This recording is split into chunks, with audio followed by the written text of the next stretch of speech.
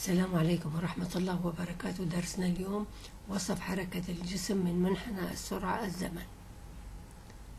لدينا المنحنى البياني الذي يمثل تغير السرعة بتغير الزمن نشاهده خط مستقيم يميل على محور الزمن. ما شكل السرعة؟ ماذا تلاحظون على السرعة؟ نلاحظ أن السرعة متزايدة بانتظام في الاتجاه الموجب. نستنتج من ذلك أن العجلة عجلة تسارع في الاتجاه الموجب وثابتة المقدار لأن المنحنى البياني خط مستقيم. لدينا الخط البياني التالي الذي يمثل تغير السرعة بتغير الزمن. نقسم الخط البياني هذا إلى ثلاث مراحل. المرحلة الأولى من هنا لهنا. المرحلة الثانية هذه. المرحلة الثالثة هذه. لندرس المرحلة الأولى. ماذا يحدث للسرعة في المرحلة الأولى؟ نلاحظ في المرحلة الأولى السرعة متزايدة بانتظام في الاتجاه الموجب.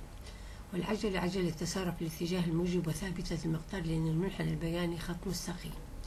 نيجي للمرحلة الثانية. بنلاحظ أن السرعة ثابتة ثابتة والعجلة صفر نيجي للمرحلة الثالثة. السرعة متناقصة بانتظام في الاتجاه الموجب. والعجلة عجلة تباطؤ في الاتجاه السالب وثابتة المقدار لأن المنحنى البياني خط مستقيم.